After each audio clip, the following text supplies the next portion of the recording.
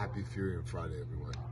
Uh, I just got through the Chronicles of Riddick, fourth chapter, Furya, the script. And I gotta say, David Twohy, I said that some amazing scripts were gonna be written during this time, and you just proved me right. Uh, congratulations, man. What an incredible script.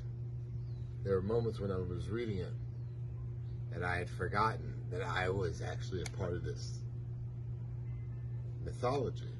That's how much I was taken away into your creativity. I applaud you for that.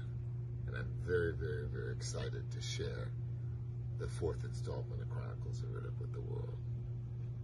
The reason why I tell, I share this kind of behind the scenes uh, film stuff with my social media audience is because you guys are so often such a big part of it.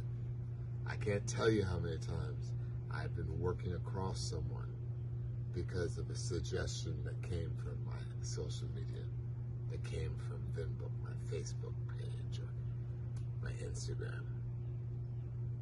So I like sharing uh, the business side with you sometimes. And I'm very, very excited with the Chronicles of Riddick Furya script. Um, I have so much stuff to share with you, but just for now, on behalf of Furya Friday, there you have it. Sending light and love to all of you. Stay safe. And as the biological father used to say, stay human.